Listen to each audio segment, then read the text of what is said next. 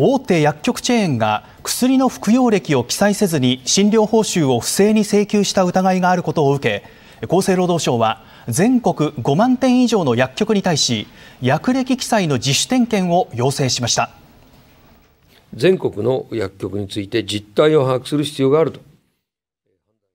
薬の服用歴をめぐっては薬の福太郎など大手薬局チェーンが適切に記載していなかったことが明らかになりました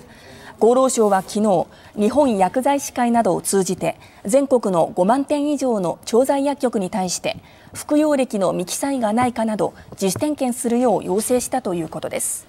服用歴を適切に管理すれば1件あたりで最大410円の診療報酬を得られますが未記載の場合不正に請求されていた疑いが出てきます。